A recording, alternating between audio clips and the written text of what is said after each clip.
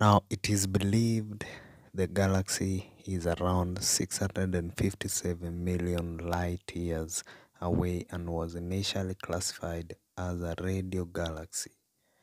However, scientists quickly realized that it had in fact rotated to point its center towards Earth. Now, the, the reports came from the Royal Astronomical Society on Tuesday, 21st March, where spokesperson Dr. Lorena Hernandez Garcia said, and I quote, We started to study this galaxy as it showed peculiar properties. Our hypothesis was that the relativistic jet of its supermassive black hole had changed its direction and to confirm that idea we had to carry out a lot of observation.